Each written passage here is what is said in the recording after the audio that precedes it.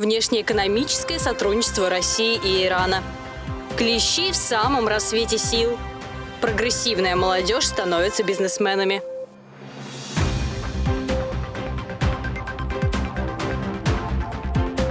Всем привет! В эфире «Univer News», а в студии Алина Красильникова. 27 июля состоялось заседание проектной сессии по обсуждению государственной программы Республики Татарстан, программа научно-технологического развития Республики Татарстан с участием экспертов Института стратегического лидерства. В состав участников проектной сессии вошли представители Республики Татарстан, а также эксперты Казанского федерального университета. Ключевыми темами для рассмотрения обсуждения стали стратегия научно-технологического развития Республики Татарстан – и государственная программа научно-технологического развития Республики Татарстан. Сближение позиций России и Ирана набирает большие обороты. Какие решения на этот раз приняли главы государств, узнаете в сюжете.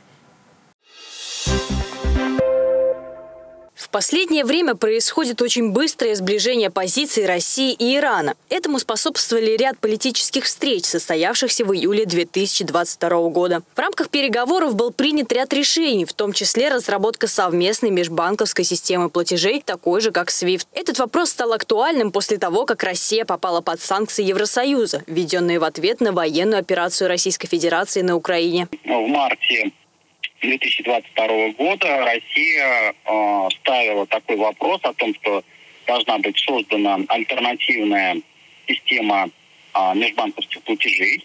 Э, была начата разработка э, такой системы.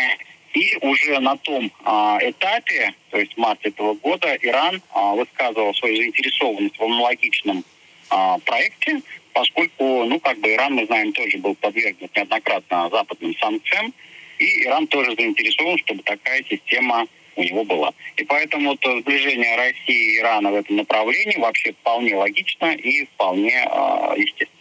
Обе стороны хотят заменить доллар США в международных операциях валютами своих стран. Для этого им необходимо иметь специальную систему, аналогичную SWIFT. Иранская и российская стороны представили по одному варианту такой системы. В настоящий момент они практически достигли неплохого соглашения, отталкиваясь от которого можно совершать валютные операции между государствами. Это приведет к большей независимости международных расчетов от э, контролируемых Европой и США э, систем Э, платежа, а, в том числе к расширению возможностей для использования а, национальных валют в международных расчетах. Кроме того, заместитель главы Министерства иностранных дел Ирана по вопросам экономической дипломатии Мехди Сафари сообщил, что в Иране скоро должна быть запущена российская платежная система МИР. По его словам, он не знает, можно ли пользоваться картой в настоящее время, однако договоренности по внедрению отечественной системы между двумя странами уже есть. Международный э, обмен, международный трафик э, между Ираном и Россией не такой уж большой с точки зрения банковских переводов. Я, я имею в виду частных банковских переводов или э, поездок частных между Россией и Ираном. Их не так много, но тем не менее это еще один шаг к распространению действия системы МИР э, в других странах, кроме России. Это ну, еще один шаг э, к действительно международному использованию этой карты. И для России, и для Ирана важно, чтобы была возможность хорошего внешнеэкономического сотрудничества. Поэтому страны пытаются урегулировать системы расчетов между государствами и избежать вмешательств западных экономических ресурсов. Алина Красильникова, Univer News. Татарстанцев стали кусать клещи почти в два раза чаще. С чем связано нашествие паразитов и как уберечь себя от нежеланных укусов, смотрите далее. С начала эпидемического сезона 2022 года в больнице с укусом клещей обратились уже более 7 тысяч жителей Татарстана. Это в полтора раза больше, чем за аналогичный период в прошлом году. К тому же это на 1,3 раза выше среднего многолетнего уровня. Укусы клещами зарегистрированы во всех муниципальных образованиях республики, кроме Апастовского района. Наибольшее число обращений зарегистрировано в Казани, Набережных Челнах и Альметьевском районе. На эти территории приходится примерно половина всех случаев нападения клещей. Здесь, скорее всего, две причины. Первое – это то, что была э, холодная э, весна, май именно, который э, был больше похож на октябрь наш – И, соответственно, все это задержало выход клещей, поэтому у них как бы произошла задержка, и, соответственно, увеличилось вот это количество выхода клещей в начале июня.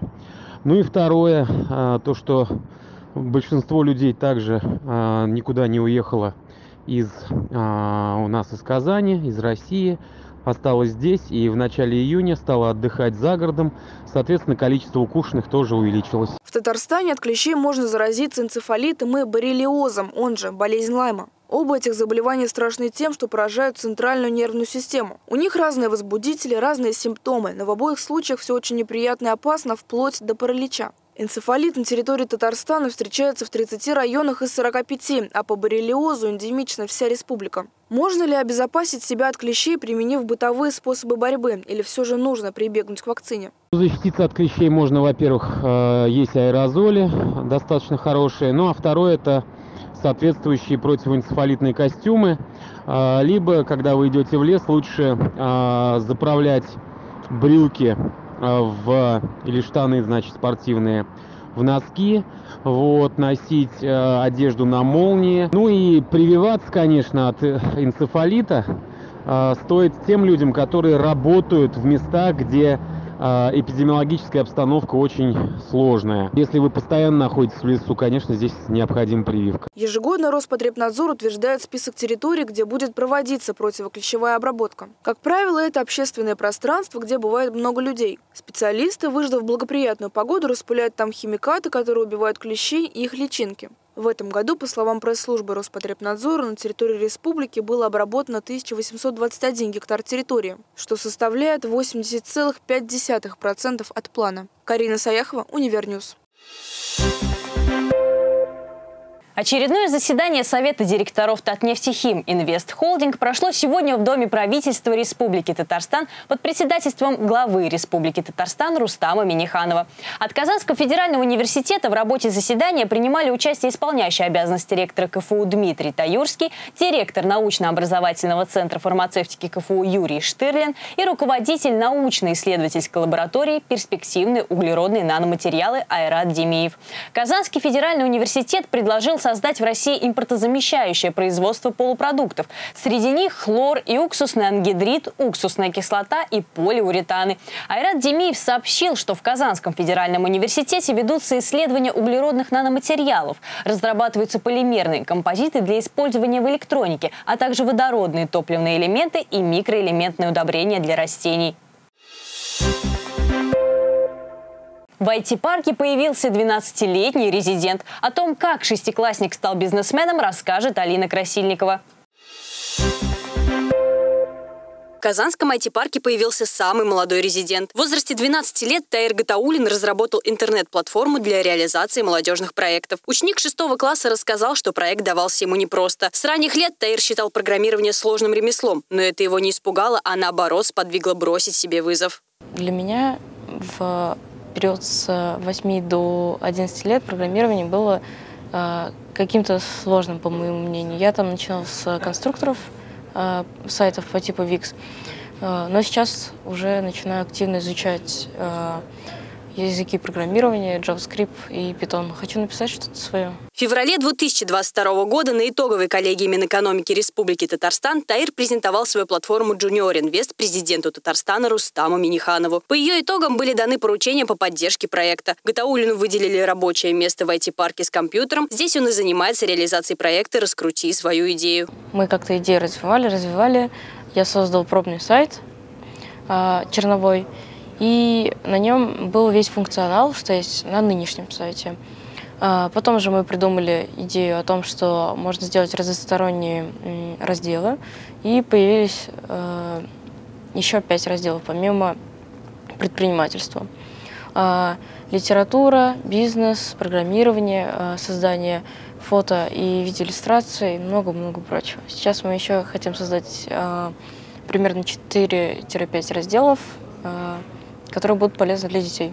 За время воплощения проекта Таир разработал еще несколько идей. По его мнению, это поможет дальнейшему развитию платформы как самостоятельной единицы. На данный момент я э, создал еще две идеи для нашего проекта. Э, Одна из них называется Junior Coin. Это виртуальная валюта, которая будет находиться на нашем сайте. А, это не крипта, это не что-то там еще там по типу NFT-шек. А, эта валюта, грубо говоря, находится в на, в нашей власти, но при этом дети могут ее э, получать. С момента создания сайта им воспользовались около 300 человек. Все заявки находятся на рассмотрении. И после прохождения отбора идеи будут выставлены на сайт, где их смогут оценить как частные инвесторы, так и государственные службы. Благодаря платформе Junior Invest ребенок любого социального положения может заявить о себе и создать функционирующий бизнес так же, как это сделал Таир. Мы не говорим о деньгах, мы просто говорим, что есть мальчик, ему 11 лет, сейчас ему 12 лет, что в России любой ребенок может организовать свой бизнес с помощью дедушки Таир смог получить грант на 5 миллионов рублей. Эти средства помогут продвигать платформу и проекты талантливых детей. Алина Красильникова, Александр Кузнецов, Univer News.